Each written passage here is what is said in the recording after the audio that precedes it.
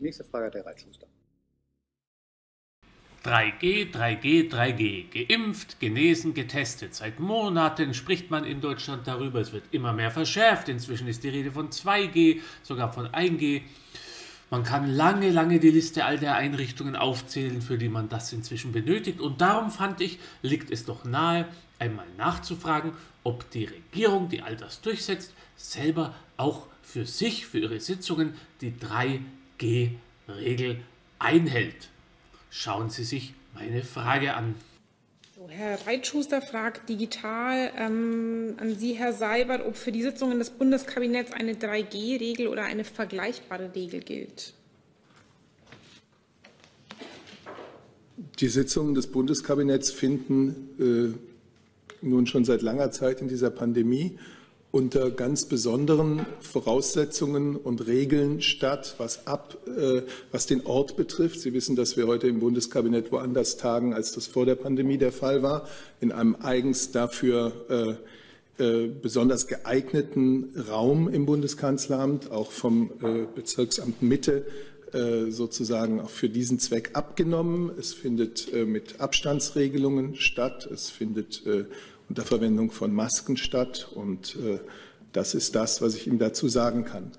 Ja, wenn das alles ist, was Herr Seibert dazu sagen kann, dann klingt das für mich wie eine Antwortverweigerung, denn man könnte auf diese Frage klipp und klar mit Ja antworten, die drei G-Regeln gelten, oder mit Nein, sie gelten nicht.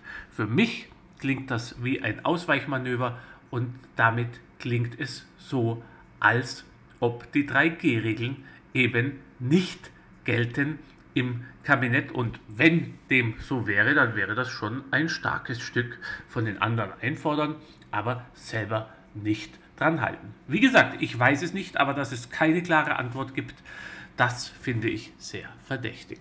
Weiter ging es mit dem Thema psychologische Folgen der Corona-Maßnahmen für Kinder und Jugendliche. Ein Thema, das mir sehr am Herzen liegt, das ich früher immer wieder in der Bundespressekonferenz ansprach. Und heute hatte Herr Seibert in seinem Eingangsstatement berichtet, dass es Thema im Kabinett war. Ich werde den Wortlaut als Backstage nach dem Ende dieses Videos hier bringen. Und ich wollte dann doch nochmal, wenn mir das alles nicht konkret genug war, konkrete Zahlen hören. Hören Sie sich die Szene an.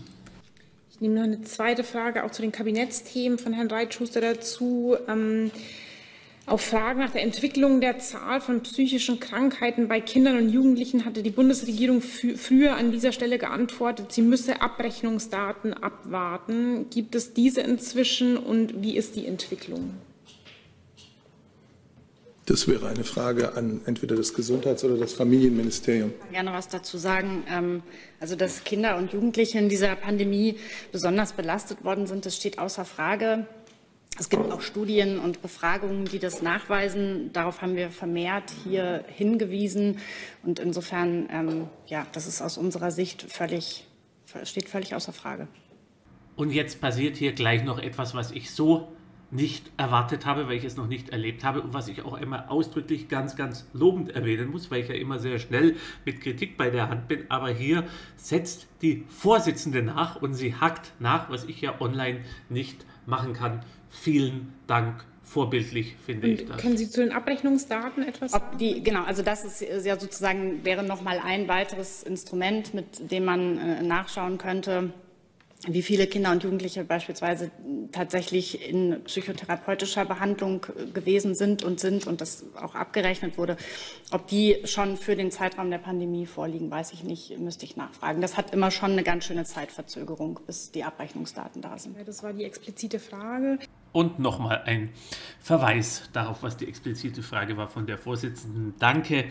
Die Antwort ist wieder nicht da und wir haben ja jetzt anderthalb Jahre Pandemie, also irgendwelche Abrechnungsdaten könnte man schon erwarten und es geht ja noch weiter. Kritiker auch aus dem Feld der Psychologen sagen ja, das Schlimme ist, wir haben heute eine Situation, wo gar nicht mehr alle behandelt werden können und die Abrechnungsdaten, die erfassen ja nur diejenigen, die überhaupt behandelt werden und nicht diejenigen, die nicht behandelt werden können. Bei meinem dritten Thema hatte ich auch nicht mehr Glück, da gab es auch wieder keine Antwort. Da ging es um etwas, was ich schon vor einer Woche gefragt habe im Online-Tool. und was aber nicht vorgelesen wurde. Heute wurde es von der Vorsitzenden vorgelesen. Also hier nochmal, wie gesagt, weil ich sonst oft und gerne kritisiere, Hut ab, prima äh, Vorsitz heute von äh, der Kollegin Wolf. Und sie hat diese Frage vorgelesen. Es ging um die Sperrungen auf YouTube, die in meinen Augen ein BGH-Urteil widersprechen, weil das vorschreibt, dass YouTube die Nutzer warnen muss vorher. Und YouTube tut das nicht. Ich wurde jetzt innerhalb von zehn Tagen zum zweiten Mal gesperrt. Willkürlich und Hanebüchen in meinen Augen. Schauen Sie sich hier den Wortwechsel an.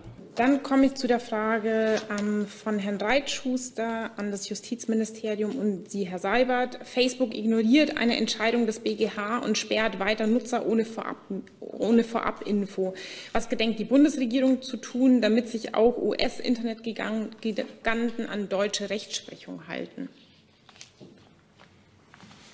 Ähm, ich glaube, da kann ich im Moment aktuell nicht zu beitragen. Wenn ich da aber was zu äh, weiß, kann ich das gerne gegebenenfalls nachtragen. Ja, da müsste ich mich auch über den aktuellen Stand erst kundig machen ähm, und dann werden wir gegebenenfalls dazu antworten. Beim Justizministerium jetzt zum wiederholten Mal auf Fragen von mir die Antwort, dass man sie nicht beantworten könne. Sehr befriedigend ist das nicht. Es gab dann heute in der Bundespressekonferenz heftige Wortgeplänkel zwischen der Vorsitzenden und dem Kollegen Jung.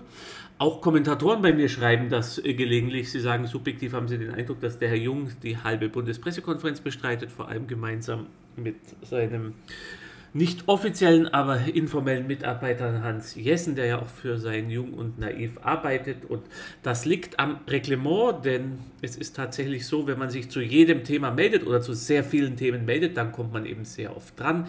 Während wenn man sich auf seine Kernthemen beschränkt, wie ich das versuche, dann ist man eben nicht so oft dran. Das ist etwas problematisch im Reglement. Jetzt hier kurz die Wortgeplänkel. Gut, dann ähm, kommen wir jetzt einmal zum Thema Mali und ich bin bei Herrn Jolk, der sich schon ja. zu Beginn der PK gemeldet hat. Herr Jung, da brauchen Sie sich jetzt nicht weiter äh, beschweren. Vielleicht kann das Verteidigungsministerium auch da bleiben jetzt im Moment, ja. weil ähm, es geht um. So, ich äh, würde das BMVG einmal nach vorne bitten. Ähm, es geht um das Thema Indo-Pazifik und Fregatte bei. Ähm, Herr Jung, ich würde ganz gerne jetzt mal thematisch weitermachen, weil sich ganz viele Kollegen Genau, Sie, Sie kommen. Genau, ich diskutiere jetzt nicht über jede einzelne Meldung. Ähm, es haben sich ganz viele Kollegen zu Wort gemeldet und kamen noch kein einziges Mal zu Wort. Deswegen machen wir jetzt einmal mit der Frage von dem Kollegen Tuchel weiter. Herr Jung, Ihnen sei gesagt, ich habe Ihre Hand gesehen. Ich habe Sie auch wieder mit auf die Liste genommen. Trotzdem sind viele Meldungen noch offen, die noch nicht zu Wort kamen. Ich bin jetzt bei Frau Romagnet. Genau, Sie kamen schon zu Wort und viele Kollegen haben sich sehr, sehr lang gewartet. Ja, deswegen habe ich Sie noch mal auf die Liste genommen. Frau Romagnet, bitte. Okay, dann Herr Jung. Erstmal Hinweis an die Moderation, weil Sie an die Reihenfolge immer wieder erinnern. Ich hatte mich beim Thema Ortskräfte gemeldet. Andere Kollegen, die sich danach gemeldet haben, haben Sie registriert und abgearbeitet. Meine haben Sie nicht äh, angenommen und Sie haben das ignoriert, explizit ignoriert, Frau Vorsitzende. Das möchte ich hier anmelden. Frau äh, Herr Seibert, sorry. Was ist denn das heute, dass permanent Frau Seibert gefragt wird? Ich äh, bin etwas verwundert. Vielleicht die rote Krawatte. Genau, nachdem Sie jetzt eben einen Vorwurf erhoben haben, möchte ich nur sagen, den weise ich zurück. Ähm, es ist im Sinne der, der, Fairness, dass Kollegen, die schon mehr als eine Dreiviertelstunde gewartet haben, dann auch mal zu Wort kommen und Sie hatten jetzt die Möglichkeit, Ihre Frage zu stellen. Ich rufe nochmal ein neues Thema auf von Herrn Reitschuster, der an das Justizministerium bzw. auch an Sie, äh, Herr Seibert, fragt. Jetzt. Ich also ich bin ja hier nur Gast, aber vielleicht können wir uns ein bisschen um einen freundlichen Ton miteinander bemühen und äh, dann hilft es, glaube ich, dem gemeinsamen Sinn und Zweck des HISA hier Ihm würde ich an dieser Stelle zustimmen. Gut, also. Ja, und dann werde ich inzwischen immer als derjenige bezeichnet, der das Enfant terrible der Bundespressekonferenz sei und der die Bundespressekonferenz sprenge oder besetzt habe. Weil ich immer noch finde, mit kritischen Fragen hier aufzufallen. Das ist journalistisch. Ja, mehr sag ich dazu jetzt lieber nicht, sonst werde ich noch unsachlich und Unsachlichkeit soll ja künftig ausgeschlossen werden, faktisch, wenn die Satzungsänderung in der Bundespressekonferenz durchgeht. Ist sonst noch wichtig zu berichten von der heutigen Bundespressekonferenz? Es ging zum einen um allgemeine Verwaltungsvorschriften zur Beschaffung klimafreundlicher Leistungen. Und in den Fragen stellte sich dann heraus, dass zum Beispiel Heizpilze jetzt nicht mehr beschafft werden dürften und dass es einen CO2-Schattenpreis geben soll. All das können Sie in völliger Ausführlichkeit verfolgen in der Gesamtübertragung der Bundespressekonferenz, die auf dem Unterstützerkanal reitschusterleerzeichen.de zu finden ist.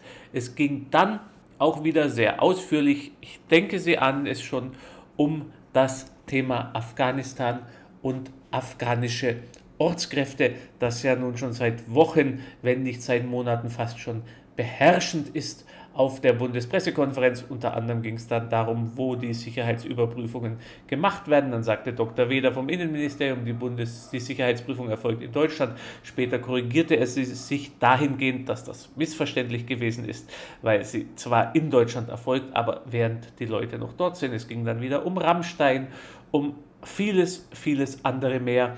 Aber das alles empfehle ich Ihnen anzusehen in der Gesamtsendung der Bundespressekonferenz. Auch um die Fregatte Bayern ging es wieder, um einen Besuch in einem chinesischen Hafen und um viele andere Themen. Wie gesagt, schauen Sie sich das in der Gesamtzusammenfassung an, in der Gesamtsendung. Entschuldigung, das war's für meinen Teil heute. Vielen Dank, dass Sie wieder dabei waren. Schauen Sie wieder rein, abonnieren Sie den Kanal, lassen Sie ein Like da, machen Sie einen Kommentar, damit Sie das Mogeln, das ich vermute bei YouTube bei den Algorithmen etwas hintergehen und den Manipulateuren hier einen Strich durch die Rechnung machen.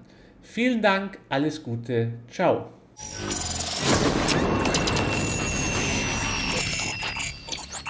Nächste Frage der Reitschuster.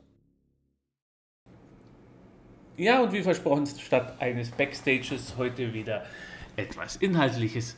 Die Aussagen von Herrn Seibert zu Kinder- und Jugendlichen und psychiatrischen, psychologischen Problemen, von denen was dazu im Kabinett gesagt wurde. Alles Gute. Danke. Ciao. Und äh, dann haben die Bundesfamilienministerin Frau Lambrecht und der Gesundheitsminister Herr Spahn dem Kabinett über die gesundheitlichen Auswirkungen der Corona-Pandemie auf Kinder und Jugendliche berichtet. Äh, es hat ja da, das wissen Sie, eine interministerielle Arbeitsgruppe gegeben unter gemeinsamer Federführung dieser beiden Ministerien, äh, die zusammen mit zahlreichen Experten und Expertinnen äh, über 20 Handlungsempfehlungen erarbeitet hat. Die sollen die künftige Belastung für Kinder und Jugendliche möglichst vermeiden oder bestehende Belastungen abbauen. Ich will einige der Kernforderungen äh, vielleicht erwähnen. Vielleicht sollte ich vorher noch mal sagen, aber ich denke, das wissen Sie alle. Äh, die Pandemie, die zeitweilige Schließung von Bildungseinrichtungen, die Einschränkung von Freizeitangeboten, das alles hat natürlich gerade auf das Leben von jungen Menschen äh, Auswirkungen gehabt. Mangelnde soziale Interaktion, mangelnde soziale Nähe mit Gleichaltrigen, in vielen Fällen übermäßiger Medienkonsum, Bewegungsmangel, Fehlernährung. Das alles äh, sind während der Pandemie Risiken für die gesunde Entwicklung von Kindern und Jugendlichen gewesen. Und darauf, wie gesagt, ähm, reagieren diese Kernforderungen der interministeriellen Arbeitsgruppe oberste Priorität, flächendeckende Schließungen von Bildungs- und Betreuungseinrichtungen zu vermeiden, aber ohne dabei die Gesundheit der Kinder und Jugendlichen zu gefährden. Sport- und Bewegungsangebote sollen angeboten werden, auch unter Pandemiebedingungen, wo das notwendig ist. Es sollen präventive Angebote der Gesundheitsförderung ähm, Kindern und Jugendlichen verstärkt zugänglich gemacht werden. Das Ziel ist, dass die Länder und Kommunen gemeinsam mit den Krankenkassen und mit anderen örtlichen Trägern die Wiederbelebung und den Ausbau der Angebote für Kinder und Jugendliche vorantreiben und dass dabei eben ein Schwerpunkt auf die Vermeidung oder die Bekämpfung Pandemie assoziierter Risiken gelegt wird, also Bewegungsmangel, Fehlernährung, auch Stresssymptome bei Kindern und Jugendlichen. Und doch noch eine letzte Bemerkung für mich wieder erschütternd, dass dieses Thema, wo es wirklich um Leid und Elend vor der Haustür geht, um ganz, ganz viele Kinder und Jugendliche in unserem eigenen Land, dass es dazu kaum Nachfragen gab, dass der Eindruck war, das interessiert kaum, dafür aber wieder ganz viele zum wiederholten, wiederholten, wiederholten Male zum Thema Afghanistan und afghanische Ortskräfte. Wenn man nun böse wäre, könnte man sagen, man hat den Eindruck, dass die afghanischen Ortskräfte viele sehr viel mehr interessieren und am Herzen liegen als Jugendliche und Kinder hier in Deutschland. Aber das wäre eine böse Unterstellung, die würde ich auch nie machen. Und es wäre auch unsachlich und das ist ja inzwischen nicht mehr statthaft. Was früher durchaus der Fall war, zum Journalismus gehörte immer auch Polemik als ein Stilmittel. Aber jetzt ist wirklich Schluss. Alles Gute, danke.